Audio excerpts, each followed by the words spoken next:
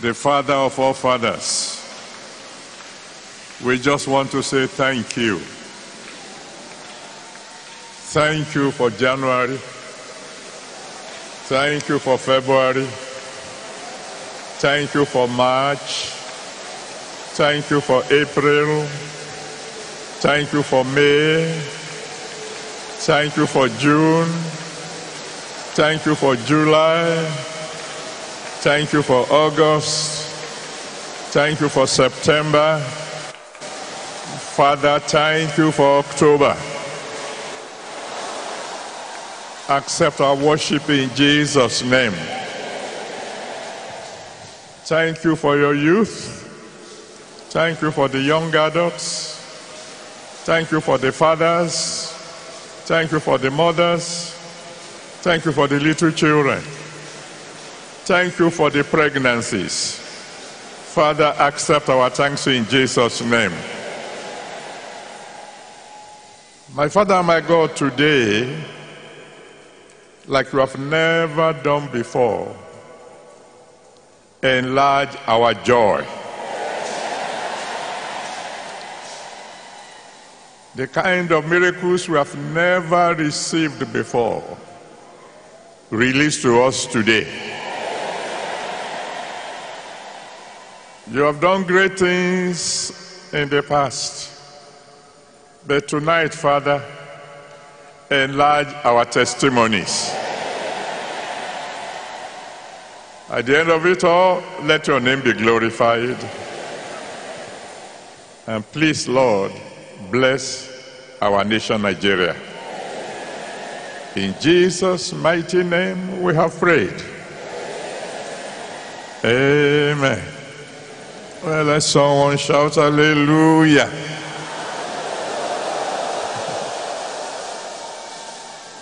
Well, let me borrow something from my children.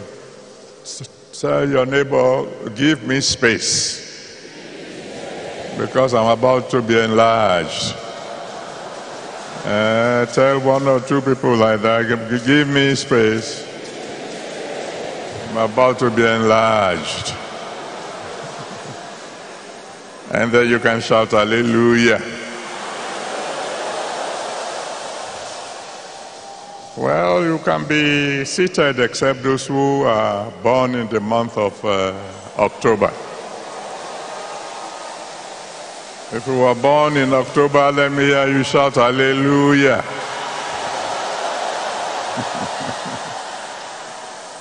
My Father and my God, I'm committing your children born in the month of October into your hands.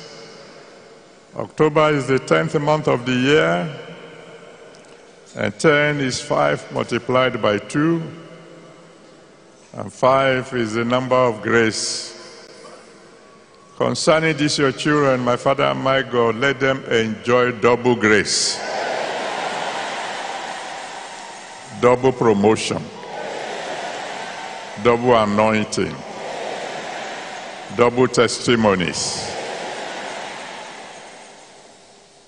and a double desire to be enlarged.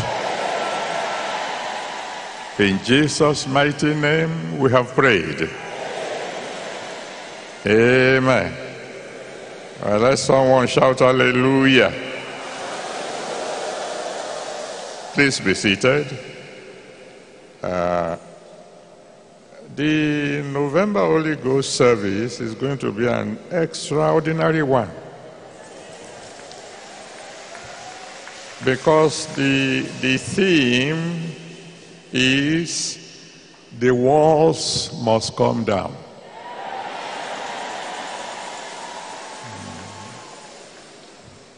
Mm. When God gave me that theme for November, I didn't fully understand until He gave me the theme for the Congress.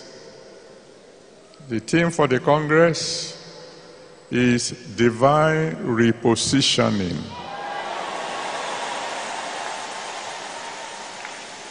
Almighty God wants to reposition some people. And in November, he wants to clear the way. Every wall, no matter the nature, that is in your life will fall next month. So get ready. Next month will be great. And of course, the Congress will be like you have never seen it before. Uh,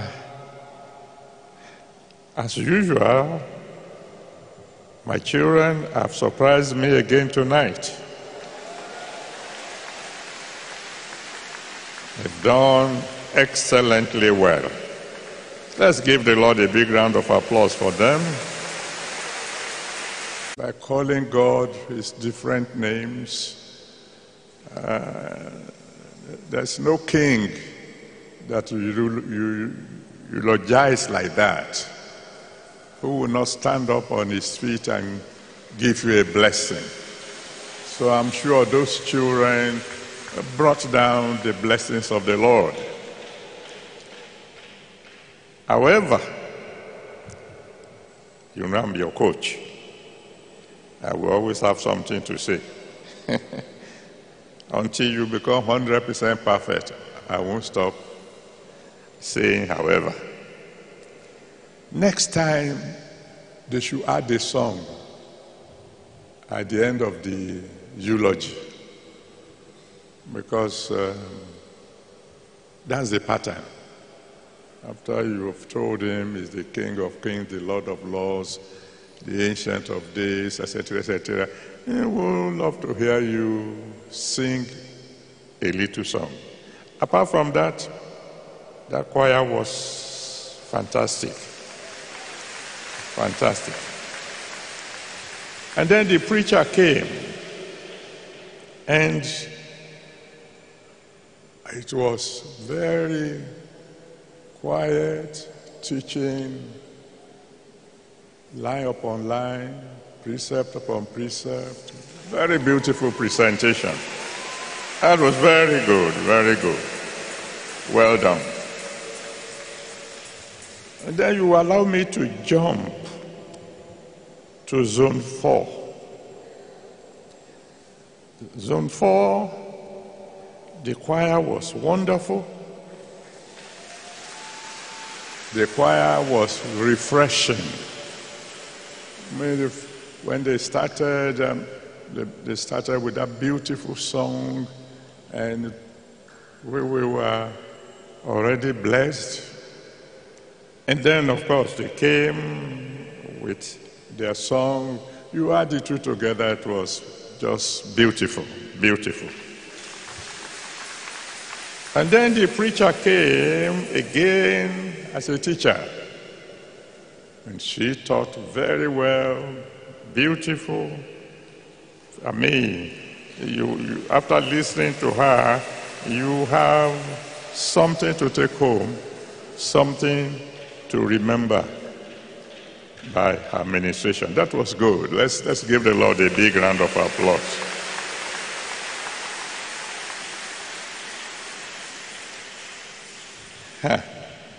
Then we go to zone two.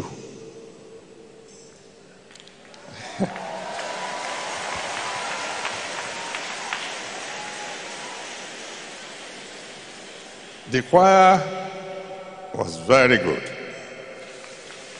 The only correction for the choir is that there were too many leaders.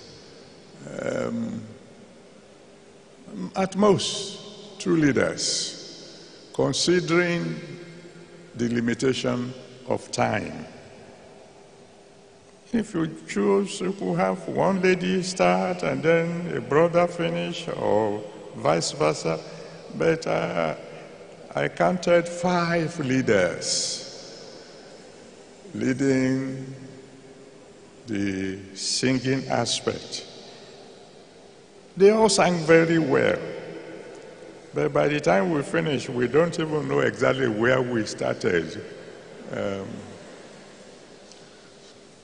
you know, difference in pitches or whatever they call it, the, the musician.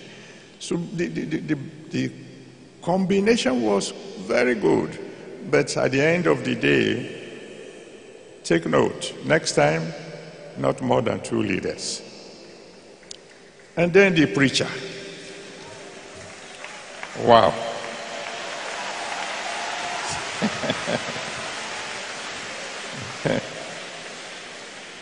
uh, that was powerful. it's just like he said uh, great things come in small parcels.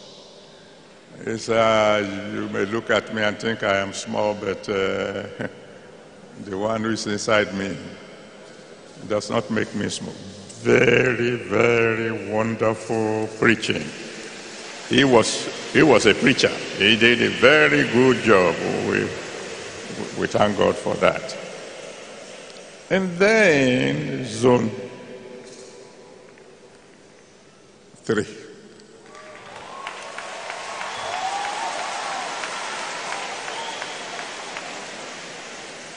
The choir, just wonderful.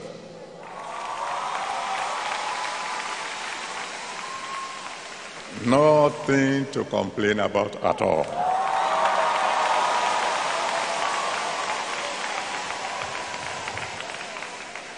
And then the preacher.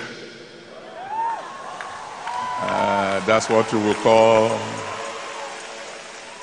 dynamic. It was, was like, a, it was electric. Um, to tell you the truth, I, I don't know which one to say did the best. Is it zone two or zone three? They were terrific. And I just thank God for their lives. So you put them together. I think God arranged it like that this time round. A teacher on the left, a teacher on the right, and then two dynamos in between. Uh, let, let's give the Lord a big round of applause. Now, I have good news for you. Because uh, the fellow who represented the pastor's seat um, practically brought down the Holy Spirit. Uh, I think there were very few dry eyes here when the time he finished. Uh, good news for you. Number one, I'm not going anywhere yet.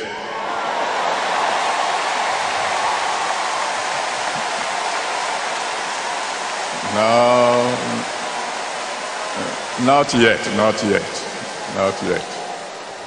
Number two, you don't have anything to worry about. Because where I stop, that's where you begin. And you are all going to be greater than I. Now, I, I know, honestly speaking, one could ask the question, huh, the way things are going, what's going to happen when you go? they were asking those questions when my father in the Lord was alive. Every time we had the convention and everything went well, people would say, hmm, it's good now. What's going to happen when this old man goes?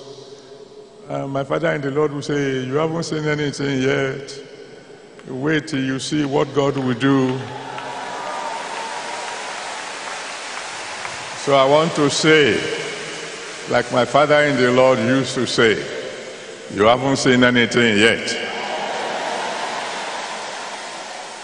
How many of you believe you are going to be greater than I? Let me hear you shout a big hallelujah.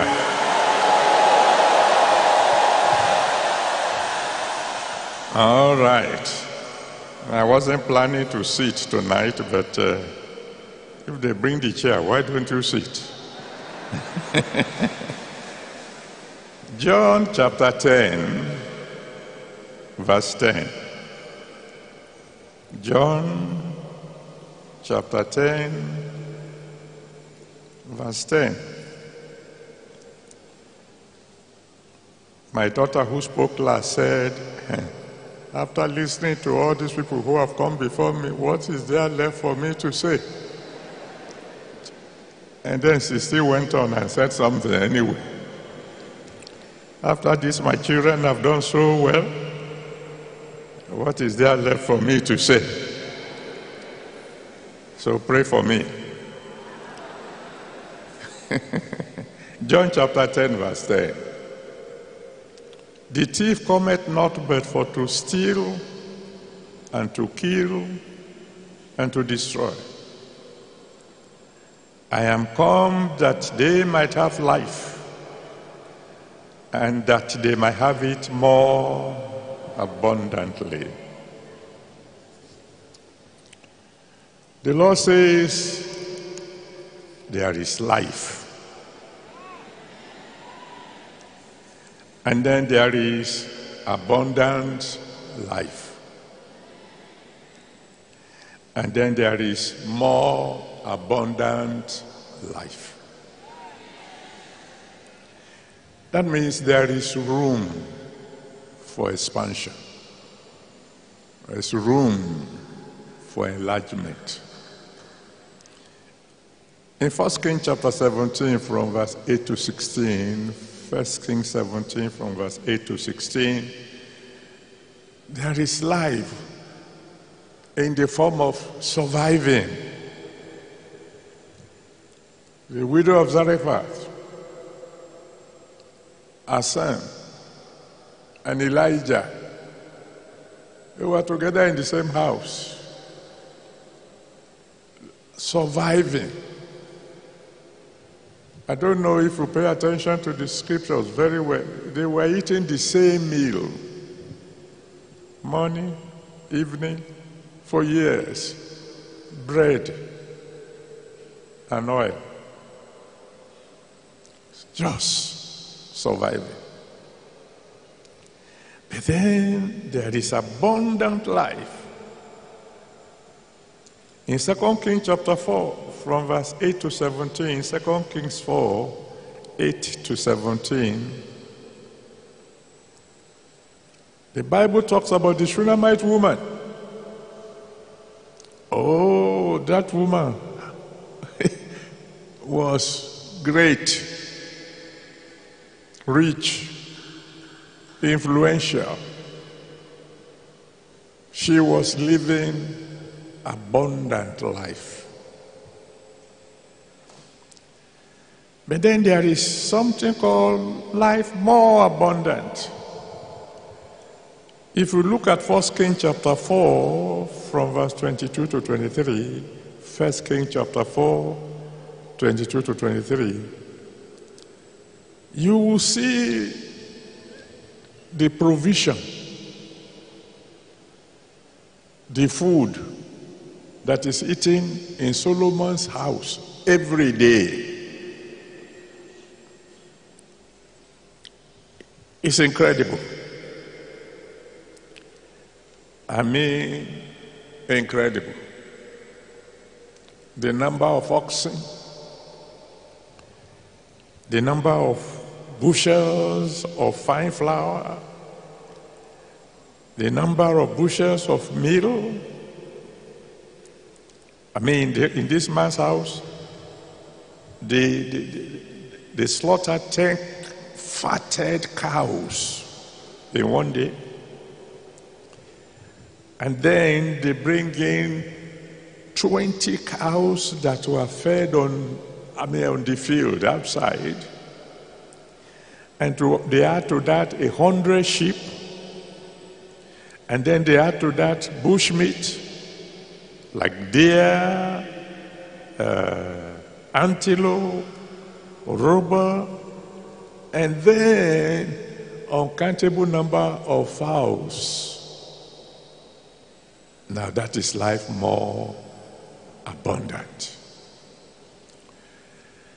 In the name of the one who owns the heaven and the earth, according to one of my sons, If you are merely surviving up to this moment, get ready for life more abundant.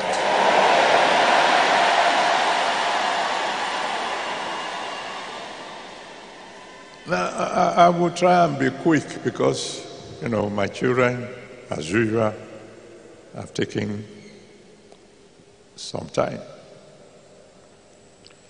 There are certain things that must be enlarged in your life today.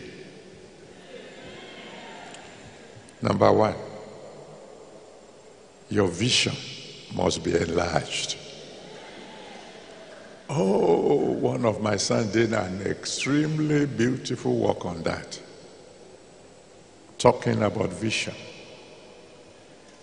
Because you see, in Proverbs chapter 29, verse 18, Proverbs 29, verse 18, the Bible says, Where there's no vision, the people perish. And um, that my son said, You can't talk of enlargement until you can see it.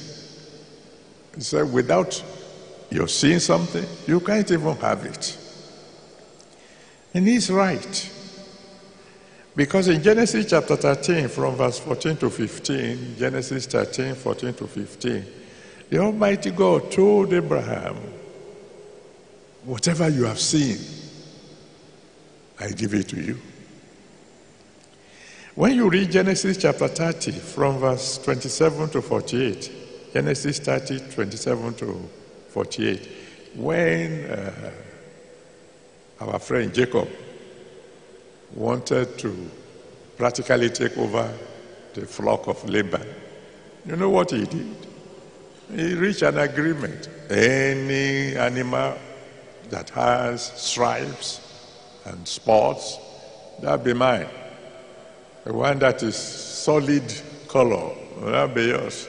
So he did something.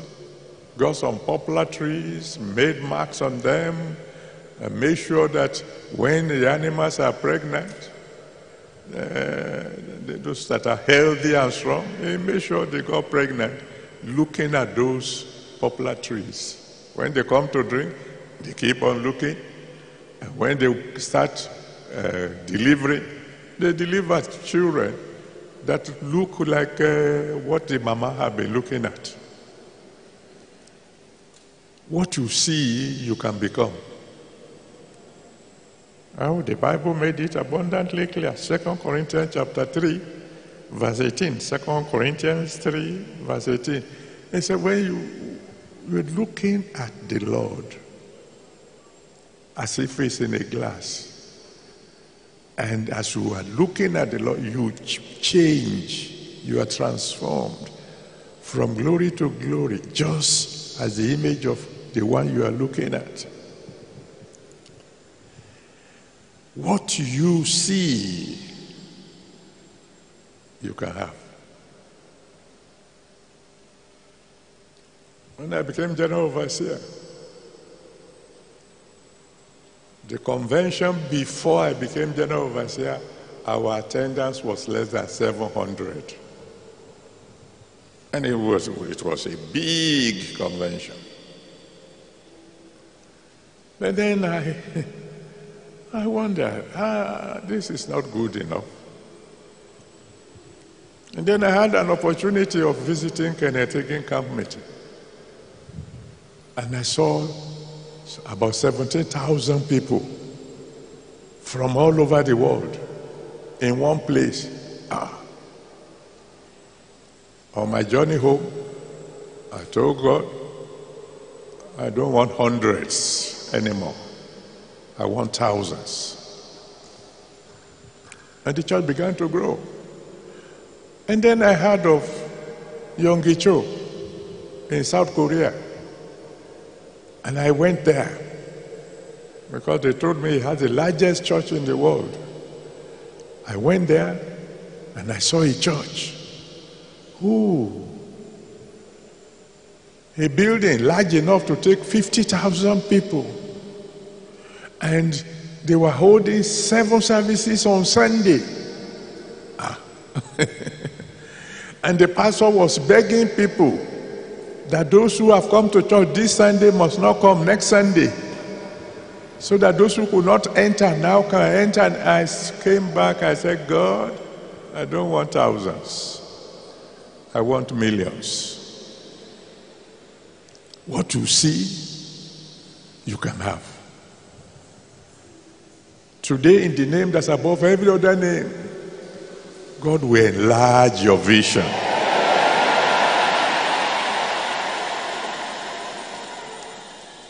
I'm going to be hurrying a little bit because of time. Another thing that must be enlarged in your life today is your coast.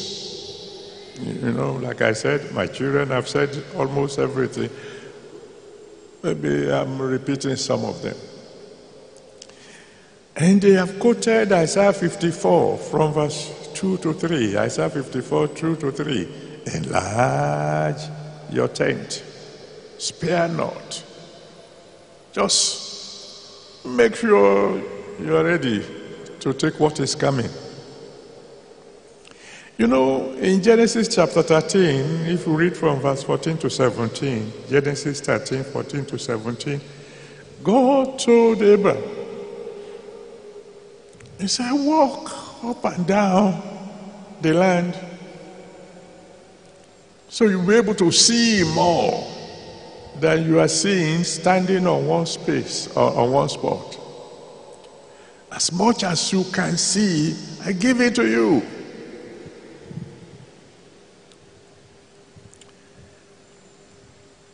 I want to prophesy to someone.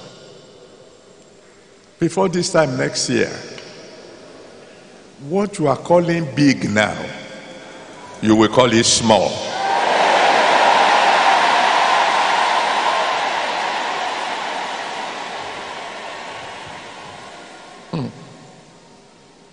Enlarge your coast. When we got our campground in America, and they told me God had given us a campground, I think about uh, 112 acres of land. And my children took me there to go and see. I was glad. Hey, coming from Nigeria, now having a camp in America, 114 acres. I told my children when they said it's time to go home, I said, Go. Leave me here. Come back for me tomorrow. Just leave me in one bus. They left that night. I came out when, when it was totally dark, came out. Was a little bit of moonlight. I began to pray. God, thank you. God, I, I, I appreciate you, etc., etc. And it, it was in the cold season. After some time, the cold was overwhelming. So I went back into the, into the van. But my spirit was still racing. So after I got warm a little, I came out. And suddenly I heard God say, Take a walk. Walk up and down. The more you see, the more I will give you.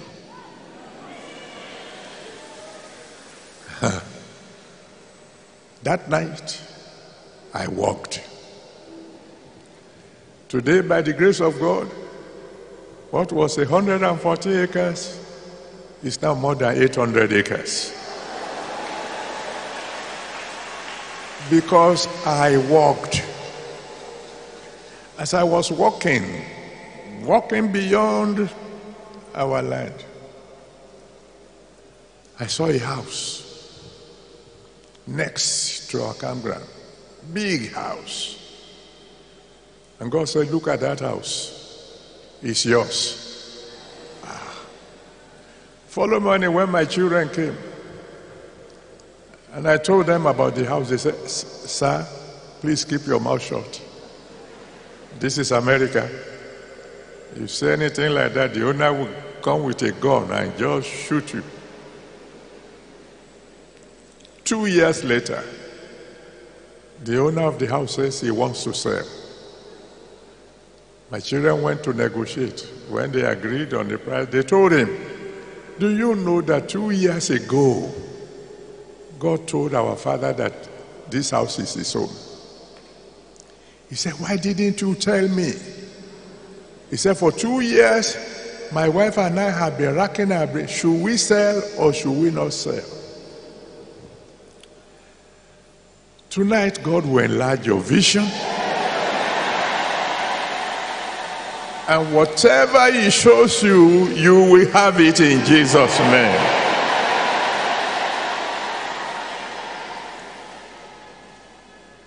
Number three,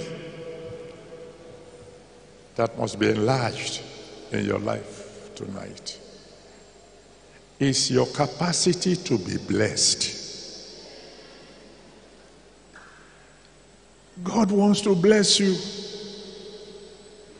The problem is that many of us don't even have the capacity to receive the blessing.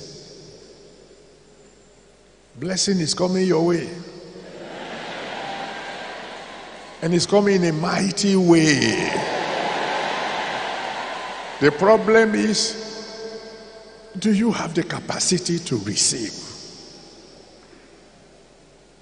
You see in 2 Kings chapter 4 from verse 1 to 7, 2 Kings chapter 4 from verse 1 to 7, when God told that woman, that widow of a son of prophet, to go and borrow vessels so that he can pour oil into the vessels so he can, she can be able to pay her debt.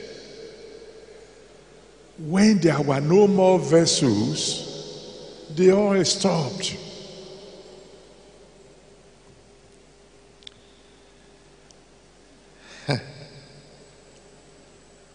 Take my word for it. A blessing is coming your way you cannot dream about yet.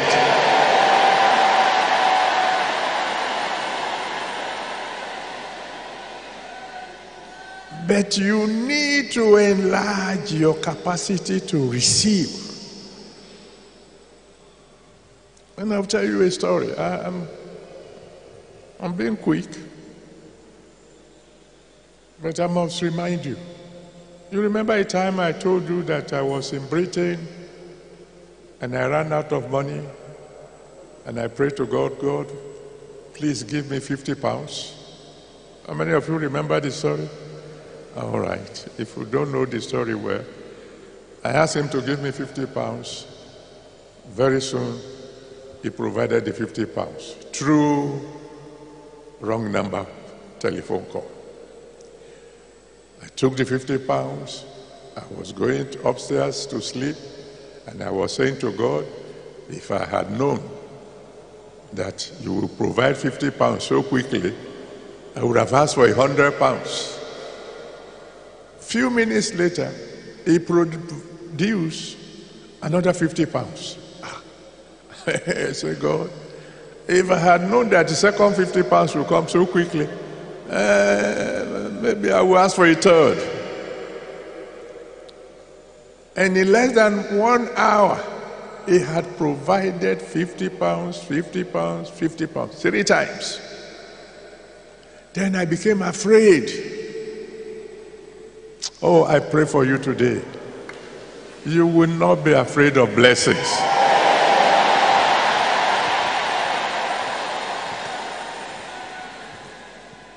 Remember the story. So I, I, I said to God, ah, Lord, I'm sorry, I'm, I'm just joking. No. The original 50 pounds would have been good enough. So I didn't ask any further.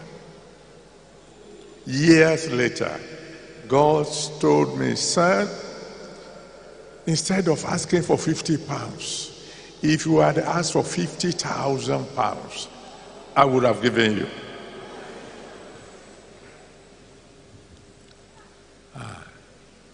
Tonight, the capacity to be blessed in your life will be enlarged.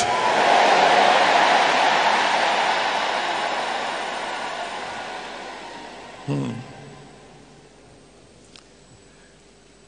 Another thing that must be enlarged in your life is your sphere of influence.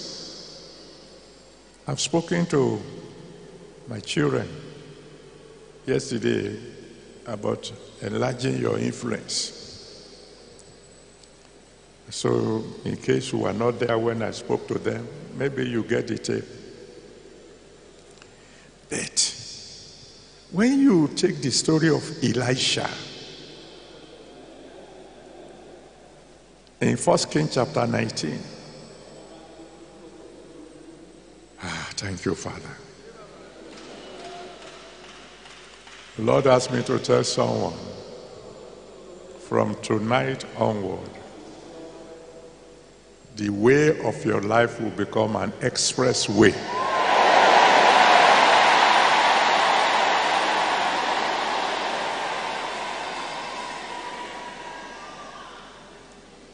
Uh, uh, well, I, I want to say amen to this before I tell you.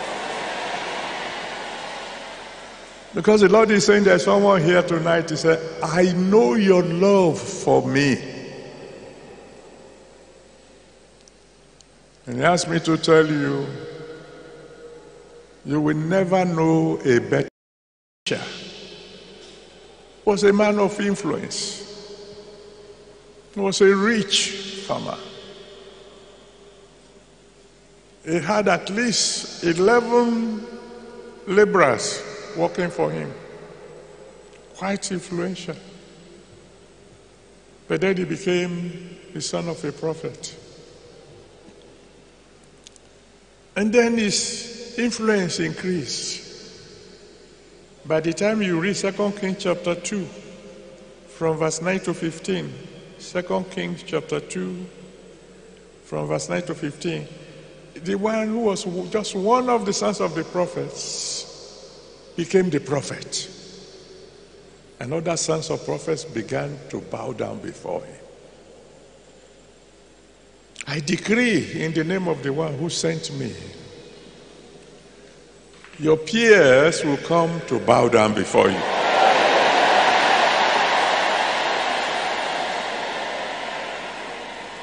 But his influence increased to such an extent that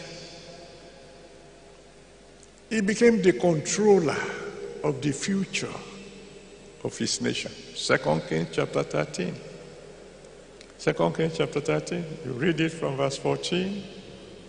You can go all the way to 21 so that you just put all together.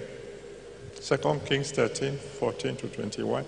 He became someone who was telling a king, do this, and this will be the result for your nation.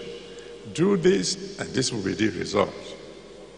The king didn't do what he asked him to do correctly, he rebuked him. He died, but his influence outlived him. His dead bones were still raising the dead. You see, that kind of influence that death cannot quench. Receive it tonight in Jesus' name. And one of my sons was talking about the new generation. Um, maybe God used them to heal malaria fever, etc., etc., and they want to forget. Uh, their fathers, they want to run out and, and, and start a, ministry. There's nothing wrong in starting a ministry, but you need a cover. When, when I see people coming to me and say, Well, God has used us to do this and to do that, I always ask them, and there's room for expansion. Have you been able to stop the sun from setting? Have you been able to tell the moon to stand still? And the sun, and the, I mean, the, the sun stands still, the moon obeyed you. There's, there's still room ahead for enlargement, for improvement. And all of you who are already anointed in the name that's above every other name, may God enlarge your anointing. Another thing that must be enlarged in your life is your capacity to make progress.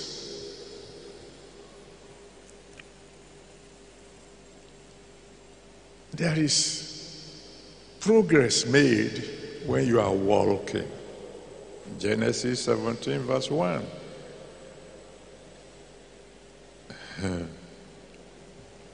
Thank you, Father. The Lord asked me to tell someone. I think this is coming straight from the preaching of one of my sons. He says, Stay connected to me, and you can only grow bigger, and you will never grow less. Genesis 17, verse 1 The Almighty God said to Abraham, Walk thou before me, and be thou perfect. There's walking, progress when you walk. But there is running. Running is faster than walking. I mean, 1 Kings chapter 18, verse 46, 1 Kings 18, verse 46. Elijah ran and beat the chariot of Ahab. So there's running and there is running. Here is a man who ran a marathon race of uh, probably more than 10 kilometers, and he beat horses in running because, of course, the hand of God was on him. And then there's something even faster than running that's flying. And Isaiah chapter 40, verse 31, Isaiah 40, 31 says, If you wait upon the Lord, he will renew your strength and you begin to fly like an eagle. And I've told you before, there's something even greater than flying. You can travel by air. You just sit down in an aeroplane and uh, you enjoy yourself and you arrive cool, no sweating at all. One of my sons was asking me a question not too long ago. He said, Daddy, we hear that witches fly. I said, Yes. He said, Why can't Christians fly? I said, They can. If they get so connected to the Holy Spirit. We have examples in the Bible. In Acts of the Apostles, chapter 8, from verse 35 to 40. Acts 8, 35 to 40. Find a young man called Philip. He has just baptized the eunuch from Ethiopia. And as they were coming out of the water, the Spirit of God just picked him up. And the next place he landed was several kilometers away. But let us forget that one. If the Almighty God decides to favor you, He can pick you up. And thank God I'm looking forward to December. And what will take 10 years to do, it can cause you to achieve it in 10 days. Your capacity to make progress shall be enlarged tonight in Jesus' name. I mean, when we talk about enlargement, like I told you yesterday, the, the, the, the simplest definition of enlarge is to make bigger. You can be enlarged by addition. Like somebody, one of my children said, uh, Abraham was enlarged by addition of one son of promise, another son from the bondwoman. But there's a greater enlargement that comes by multiplication. And we found in the case of a woman in Genesis chapter 25, uh, verse 21, Genesis 20, 25, verse 21, we find a woman who gave birth to a set of twins. That's an enlargement by multiplication. And then later on, we found that the children of Jacob were 12.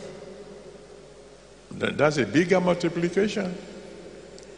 And you know, by the time the children of Israel were leaving Egypt, the Bible said the men were more than 600,000 plus children. That is another kind of enlargement.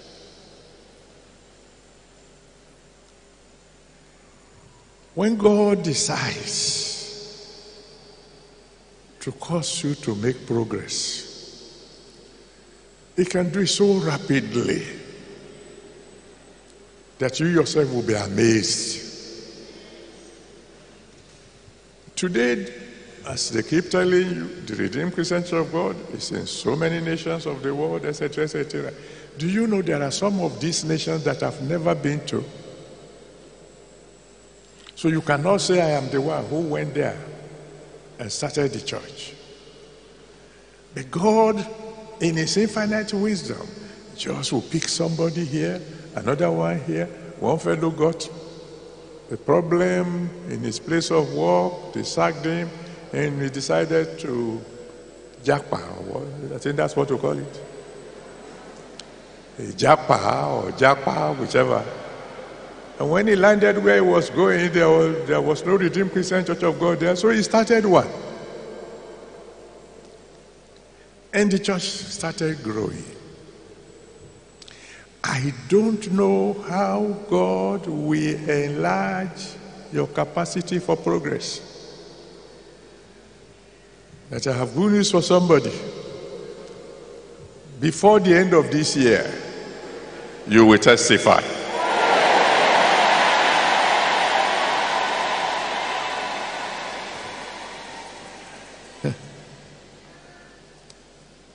Eh, I'm trying to select what to talk about. Uh, God needs to enlarge your capacity for joy.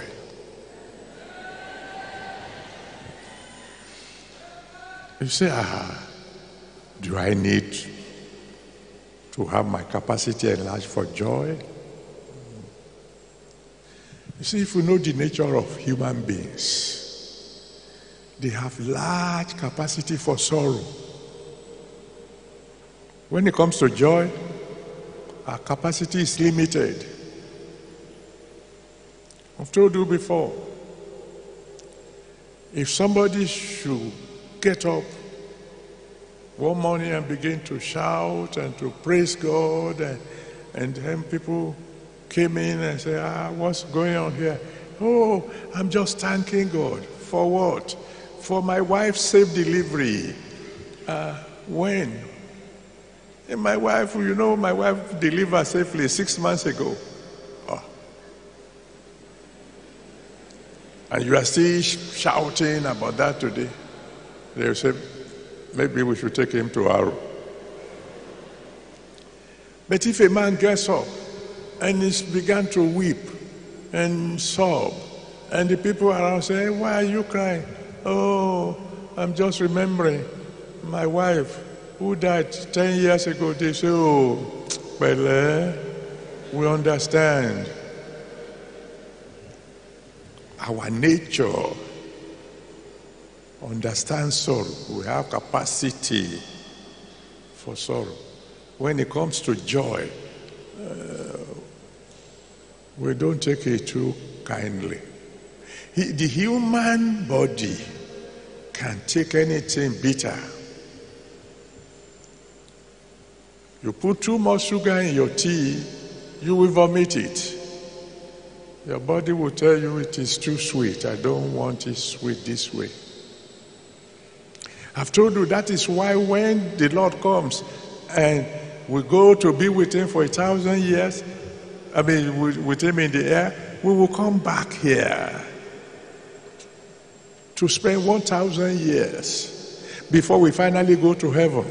Before, because if, we, if He takes us too suddenly to heaven, we won't be able to cope. The joy over there is too great. But the capacity to receive good news on a daily basis, my God will give unto you.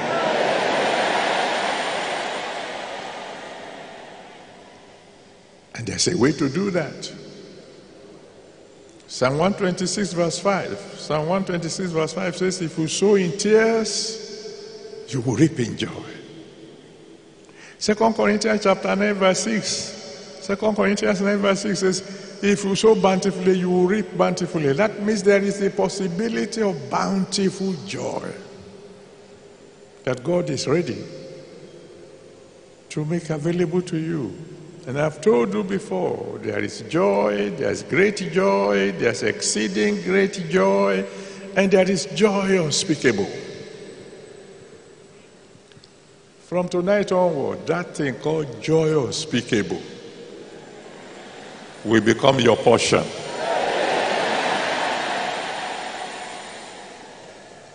Ah, okay. This is mine. So I want to say amen and amen to this. The Almighty God said, How high you go is determined by how tall is the one carrying you. He said, I'm taller than the tallest, and I will carry you.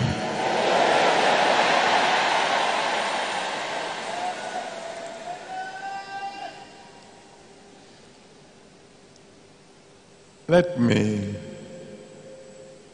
be specific about certain things that must be enlarged in your life. Hmm, I have about seven of them written down, but I will just give you three. The Holy Spirit will give you the remainder. Number one, you must enlarge your faith. One of my children mentioned it. Enlarge your faith. And like one of the guest speakers also told you, so that you can please God. But your faith must be enlarged so that there will be no mountain that can stop you. If your faith is enlarged, according to Mark chapter 11, Mark 11, 23 to 24, if there's any mountain at all that wants to block your way, you just command it and it will jump into the sea. But the Bible went further to say in Mark chapter 9, verse 23, Mark 9 23, that if your faith is large enough, there will be absolutely nothing that will be possible for you. Oh, somebody said, sir, the Bible didn't ask us to pray for faith. It says faith comes by hearing, and hearing by the word of God. Absolutely correct. But if you read that story in Mark chapter 9, verse 23, that I, mean where Mark 9:23 came from. When Jesus Christ said to that man who had a big problem, If you can have faith, all things are possible to him that believes. The man said something. Yes, Lord, I believe. Help thou my unbelief. You know what he was saying? If my faith is not big enough, enlarge it. And some of us here, we've been believing God for one mighty miracle or the other. And it's looking as if our faith is not enough. Tonight, the Almighty God will enlarge your faith.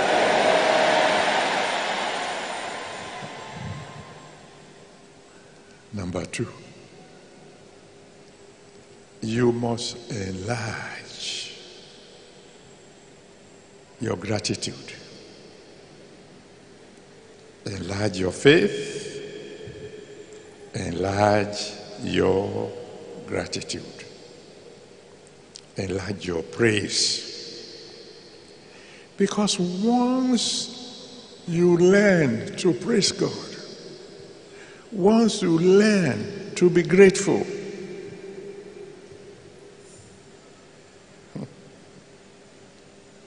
no enemy will be able to stand before you. None at all. You see, the biggest problem we have as Christians, particularly in the Redeemed Christian Church of God, is that we are never grateful enough. I've said it again and again. Because we see so many miracles happening all the time. We are no longer motivated to praise God. A woman came here carrying one baby, share her testimony. Uh, when said, uh, let somebody praise, uh, shout hallelujah. Uh, you can hardly hear the hallelujah. Why? We are saying, move out of the way, Joe. We know somebody is coming with four children. Every miracle requires praise. The very fact that you are still breathing requires praise.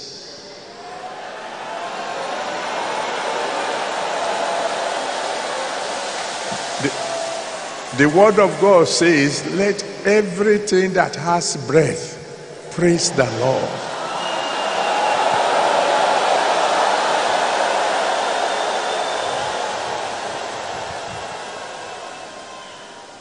Learn a lesson from Solomon. In Second Chronicles chapter 1 from verse 6 to 15, Second Chronicles 1, 6 to 15, when he wanted to show God gratitude, say, ah, God, hey, thus far you have helped me.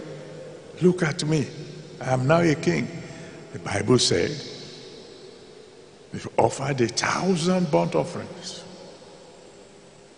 He did what nobody else had ever done before. God said, Fine, son, I've taken note.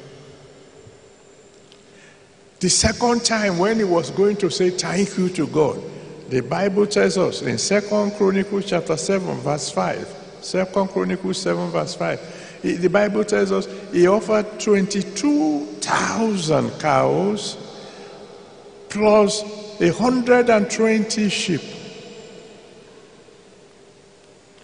He enlarged his gratitude. And do you know what happened? The Bible says in 1 Kings chapter 4, verse 14, 2 Kings chapter 4, verse 24,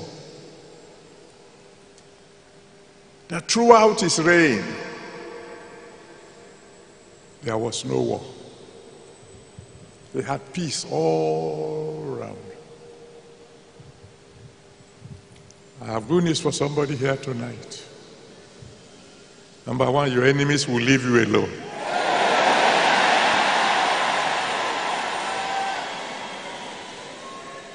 For the rest of your life,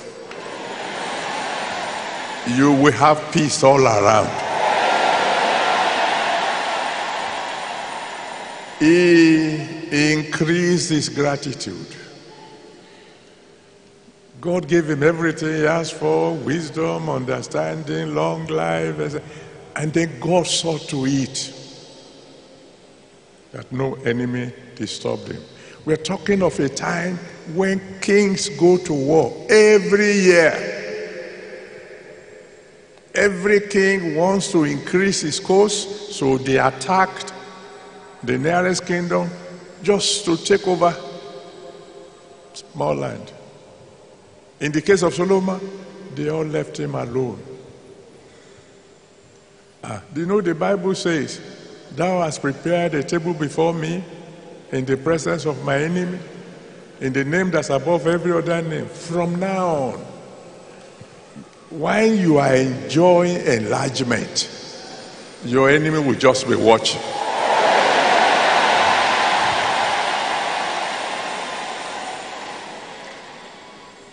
Enlarge your gratitude.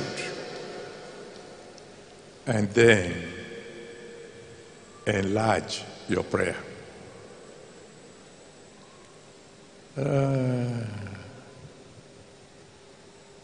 thank you, Father.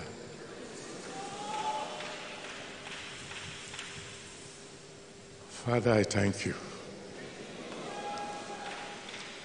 I'm saying amen. And I'm saying amen for you. Because God says there's someone here tonight, He said, from this moment onward, every year, you will have cause to celebrate God's faithfulness.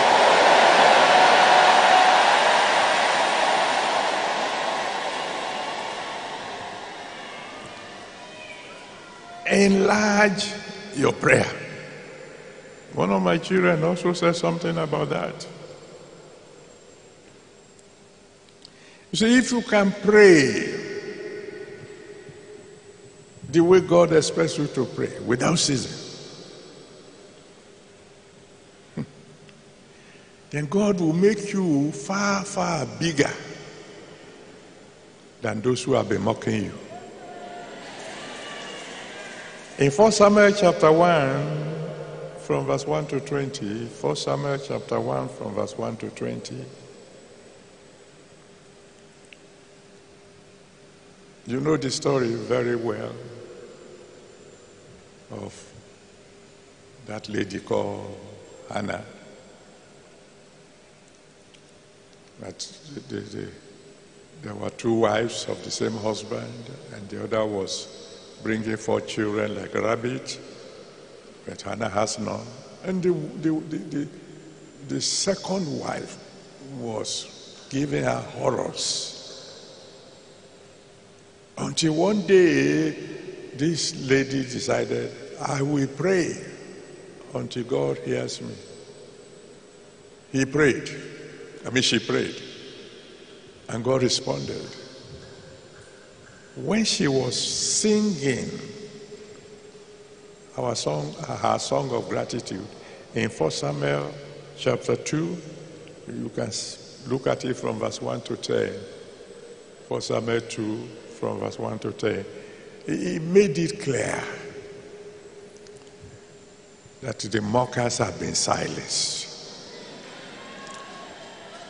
Or if only you pray sufficiently, your mockers will be silenced. I can go on and on. Ask you to enlarge your evangelism. If you enlarge your evangelism, you become larger than unanswered prayers. If you evangelize the way you should, there will never again be an, a prayer in your life that will not be answered. You should enlarge your love. If you enlarge your love, you'll be larger than death. Uh, just give you one passage, you know, or two. But you know, the Bible says in Songs of Solomon, chapter 8, verse 6, Songs 8, verse 6, that uh, strong, uh, love is as strong as death. But Acts of the Apostle, chapter 9, 36 to 41, Acts 9, 36 to 41, shows clearly that if you really become known for love, even if death had killed you, death can vomit you. It's the story of a woman called Dorcas. When she was alive, she was showing so much love to everybody. When she died, the people said, No, God, we won't take this. And they sent for Peter. You know the rest of the story. Peter went in, prayed, and brought her back alive.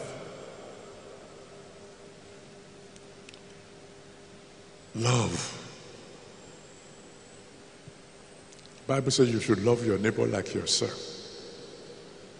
You can't love your neighbor and see them living in sin and not witness to them. You can't love your neighbor and know that there's a place like this where they can come and meet with the Holy Spirit and get their problems solved and not invite them. If you show love, because God Himself is love, if you expand, if you enlarge your capacity to love, the Almighty God can look down from heaven and change your appointed date with death and cause you to live much longer. Several years ago, one traditional ruler who happens to be one of my spiritual sons said to me when he was sick, I went to pray for him. He said, I believe my time has come. I laughed. Ah, he said, Sir, Pastor, this is not a joking matter. I'm telling you the truth. I laughed. I said, I know how much love you have for God. But you haven't done the work He wants you to do. He didn't save you for saving you sake. He saved you so you can bring several other traditional rulers to Christ. I said, if God heals you, will you begin to work for Him? He said, ah, let Him try me. He lived for another 12 years, bringing souls into the kingdom. If you enlarge your love for your neighbor, for your co workers, for your co tenants,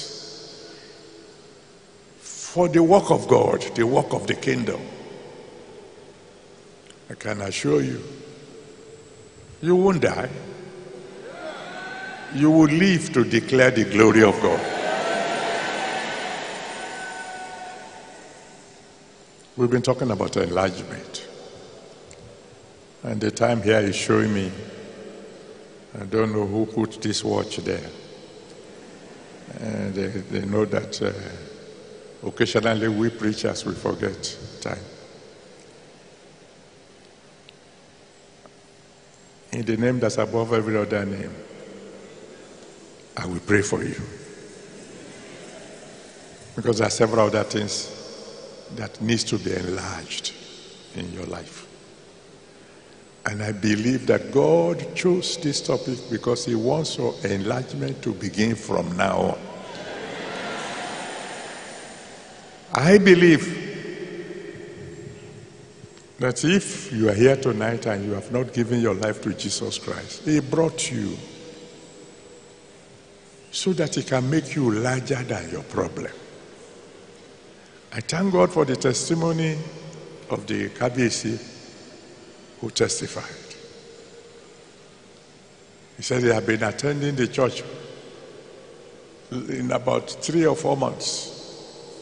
And the problem he had been dealing with for more than three years had gone. In the name that's above every other name, those of you who are here tonight, the problems you have been dealing with, I don't know for how long, we go tonight.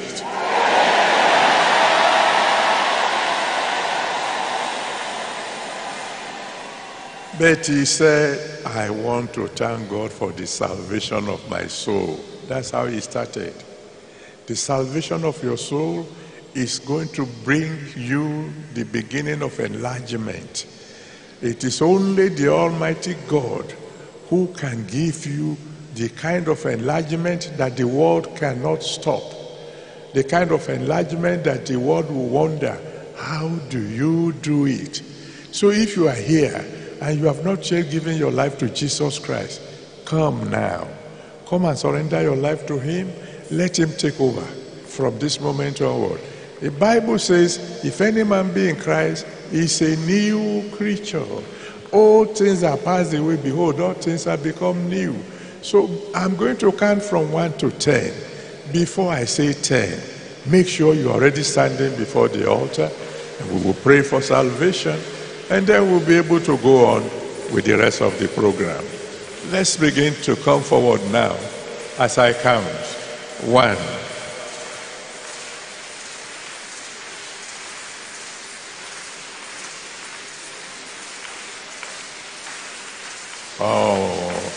If you come to Him and He saves your soul, He will begin to enlarge your coast.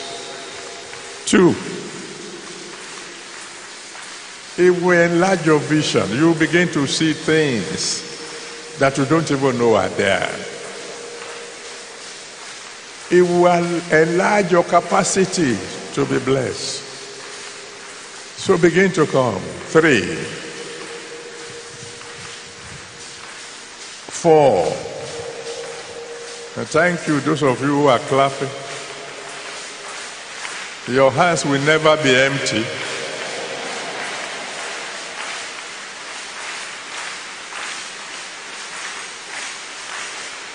Four. Five.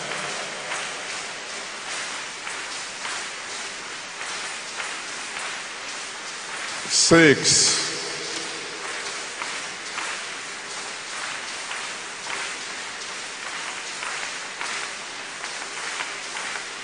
Seven.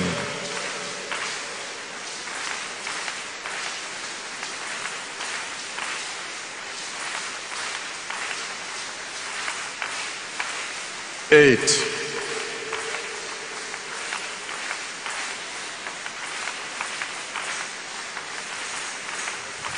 Like you have been told, promotion does not come from the east or west or from the south. God is the only promoter. Come and surrender your life to Him. You stay connected to Him, He will move you higher and higher. Hurry up. Nine.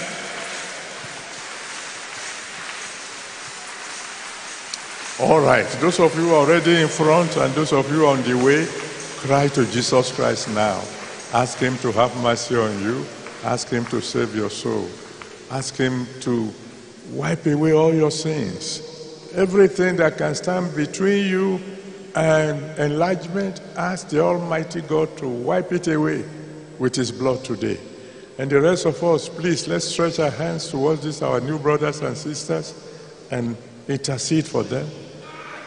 Pray that the Almighty God will save their souls, even as He has saved your soul. That God will give them genuine salvation, that they will have a brand new beginning from today onward. Please pray for them. And those of you who are still on the way, hurry up now, because I'm about to pray for salvation. Move a little more quickly. Thank you, Father. Yes, He will save your soul.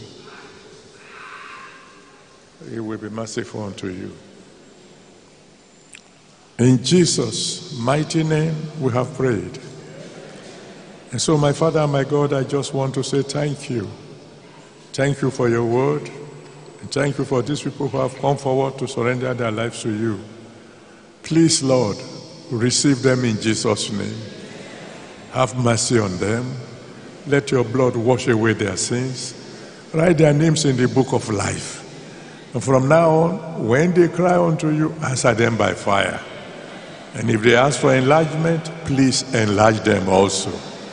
In Jesus' mighty name, we have prayed. Amen. Praise the Lord.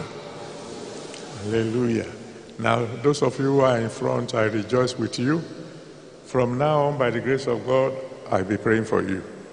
Uh, so if you will turn to your left, you will see somebody who is carrying a placard.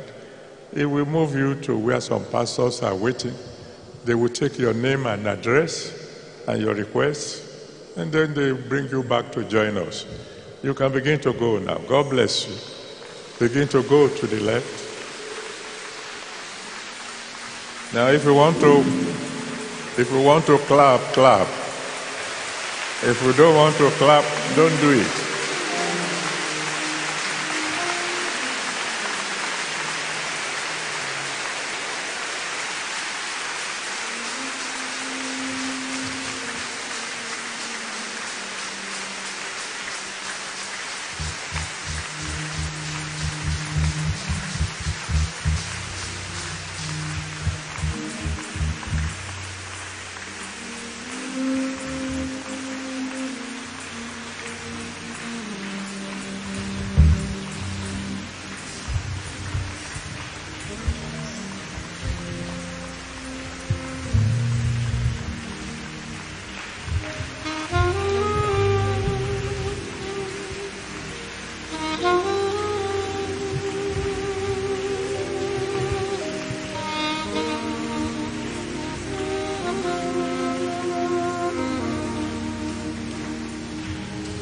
Thank you, Father.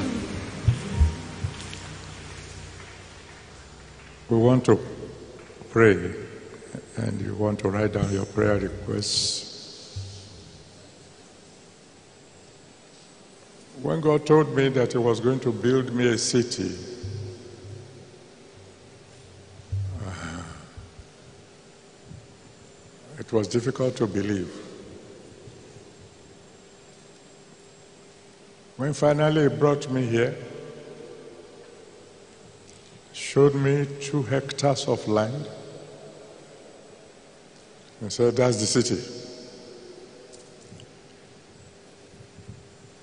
In this jungle, the headquarters of highway robbers, heavily invested with pythons and poisonous snakes. I saw a city. I saw some of the things we see now. So, your first prayer tonight is Father, open my eyes to see the invisible. Open my eyes to see the invisible. Let me see where you are taking me. Enlarge my vision.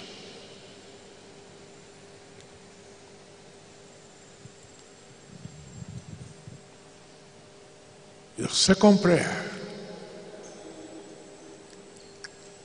is Lord, enlarge my coast.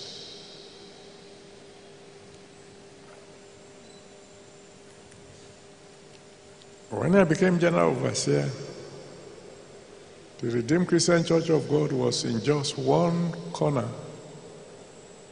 of Southwest. The first branch we had outside this nation came to pass because a man saw one of my leaflets in Ghana. He read the tract, and God spoke to him and said, That's the man you must follow. So he traveled down from Ghana I said, please, sir, come. God wants to redeem Christian Church of God in Ghana. I said, ah. I'm still trying to cope with even Yoruba land. You're talking of Ghana. We better go and pray again. He says, Sir, I'm not going back to pray. I've already brought down my signboard. I've already put the signboard of the Redeemed Christian Church of God there.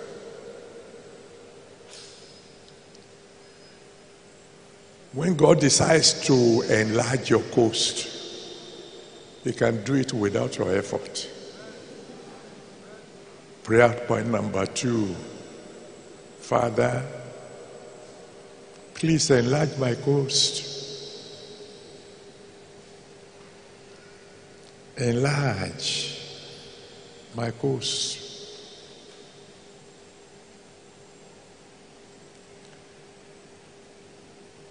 Prayer point number three.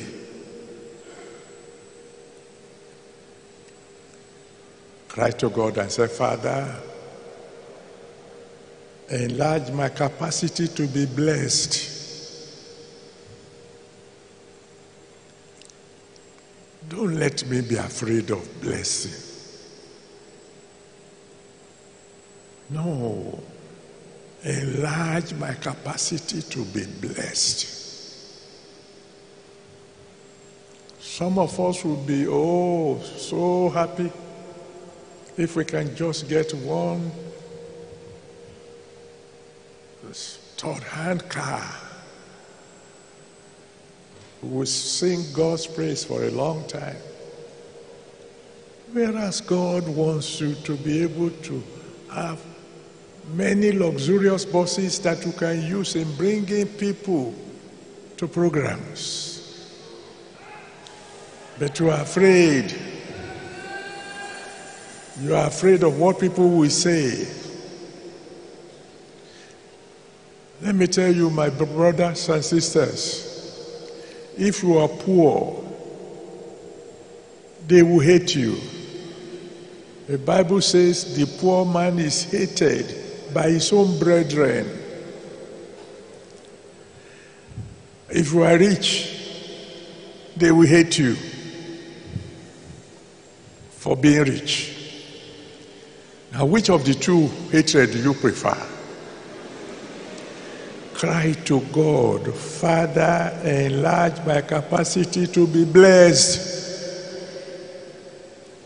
Enlarge my capacity to be blessed so I can be a blessing to thousands.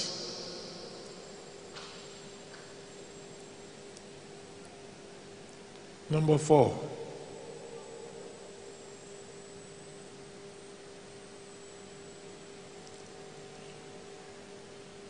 Someone was asking me not too long ago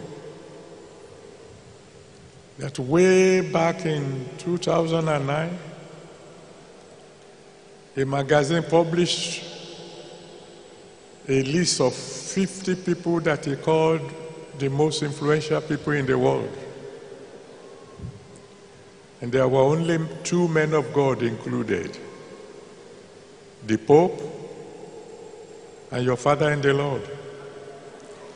So, one fellow was asking me the other day, How did you get in into that list? I said, To tell you the truth, I don't know. Cry to God in your next prayer. God,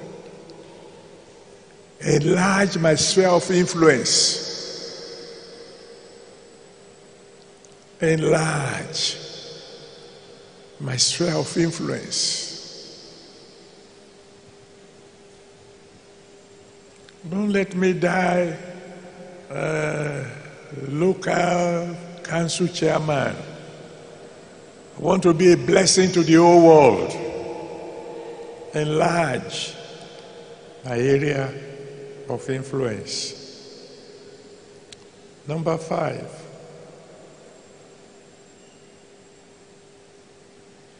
pray. Daddy, enlarge my capacity to progress.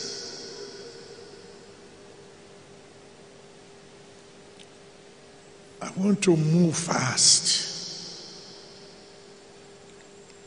I don't just want to walk, not just to run, not just to fly. I want to move at the speed of the Holy Spirit. Please enlarge my capacity to make progress. Number six, pray. Father, enlarge my capacity for joy. I've had enough of bad news. I don't want sorrow anymore for the rest of my life. I want joy. Joy every day. Good news every day. New testimonies every day. Lord, enlarge my capacity for joy.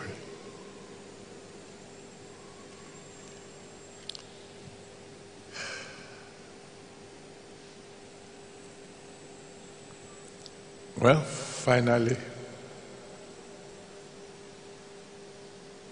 Father, enlarge my capacity for gratitude. Teach me to be grateful to you, Lord.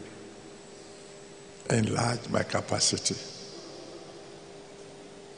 for gratitude. And then you can add anything of your own choice. Any other area in your life that you want. And oh, thank you, Father. Thank you, Father. The Lord asked me to tell someone, He said, very soon, it will be said of your family that the few had become a band.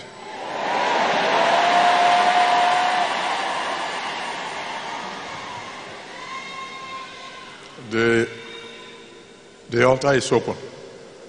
Just come. Cry to him. He's here. He's ready to enlarge you. There's no limit to his enlargement.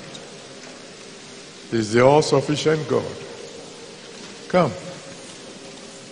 and cry unto him. And start by thanking him that you are even here tonight. Give him glory.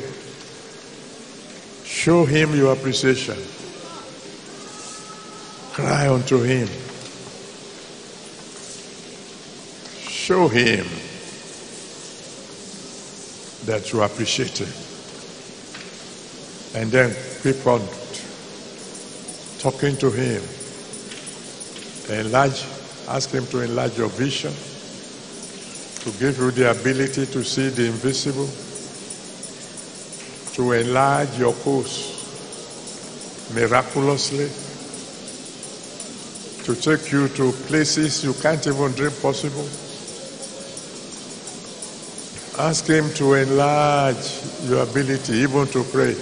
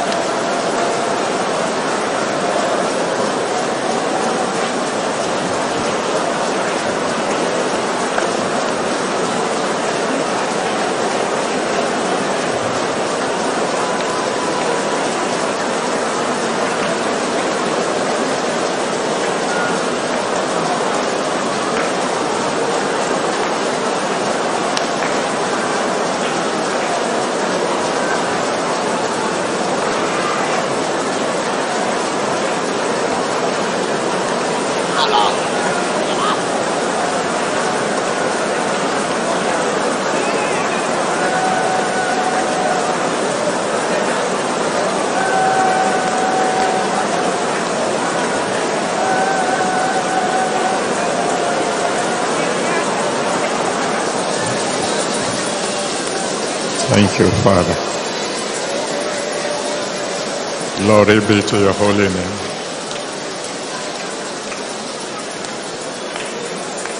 Let us begin to bring our prayers to a close. Thank you, Father. In Jesus' mighty name we have prayed.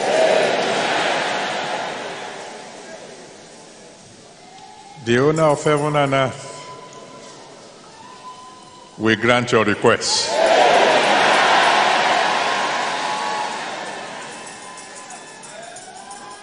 The God who is unlimited, we enlarge your course.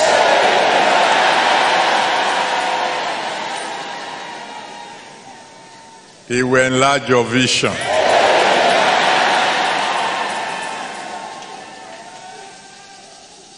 It will cause you to see the glory ahead.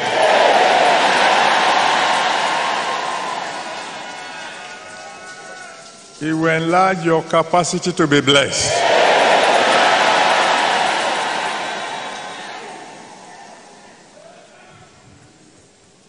It will enlarge your capacity for joy.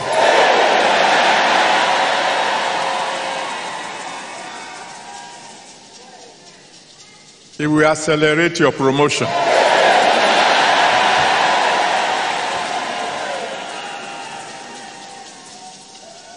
It will enlarge your capacity to pray.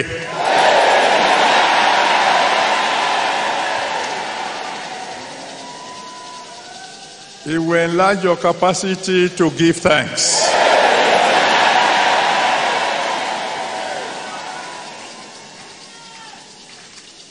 In every area of your life, there will be peace.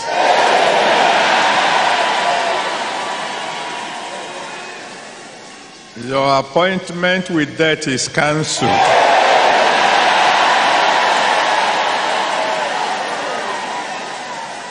You will reach the top.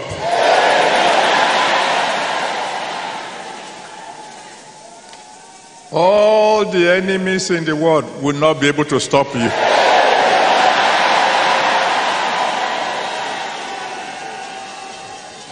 That great desire of your heart, God will grant you.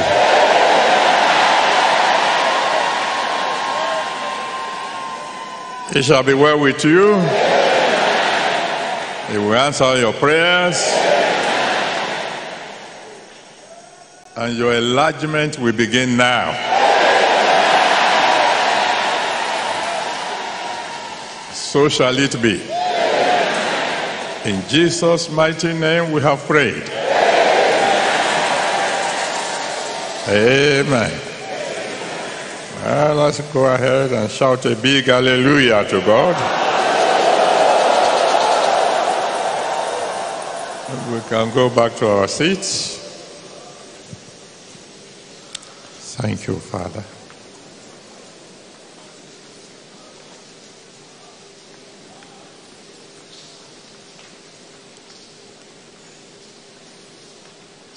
And now, to close, I want to show the Almighty God that our ability to be grateful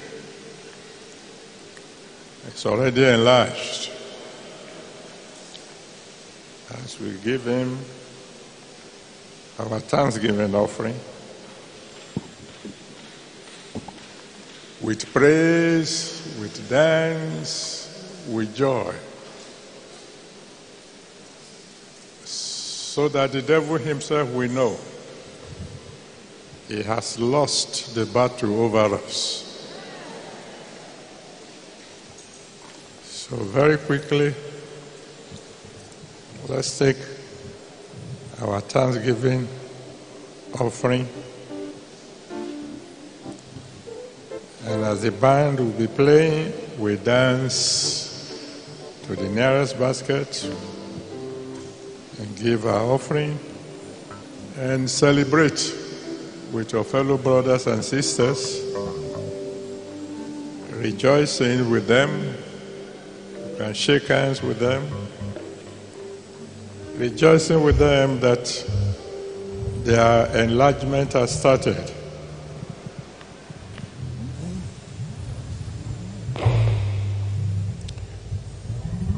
All right, the choir can sing now.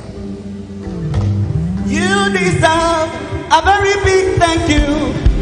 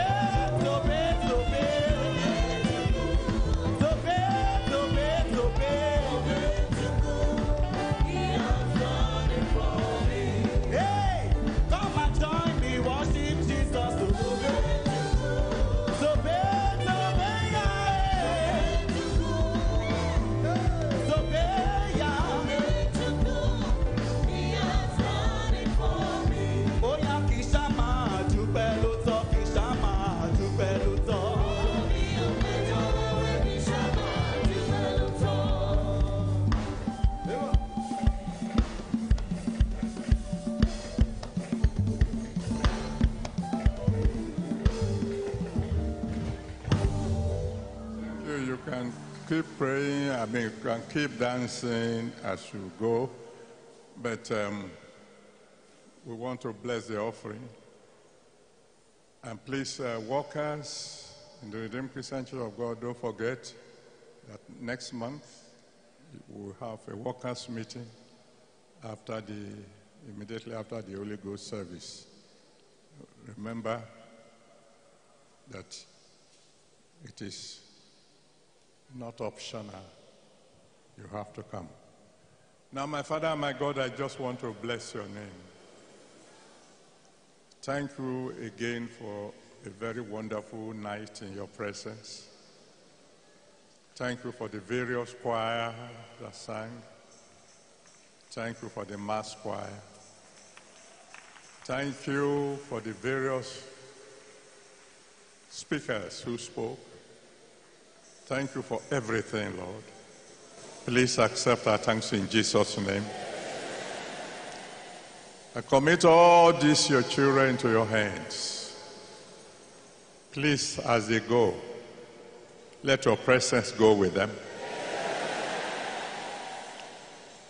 Increase the number of miracles that you have ever given to them. Please receive their offering, sanctify it, use it for your glory. And I pray that very, very soon, the least among your children here will be giving you millions.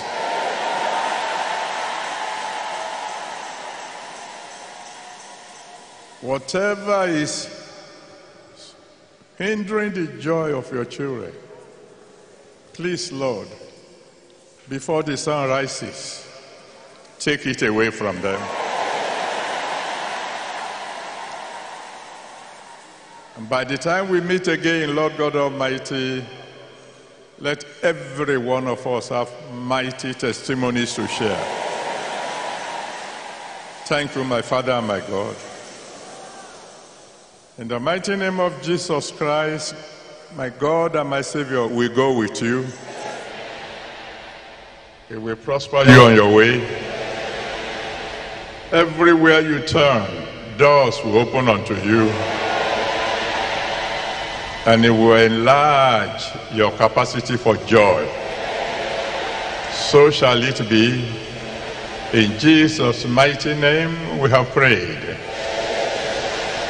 Amen. Well, who got the biggest miracle tonight? Biggest hallelujah.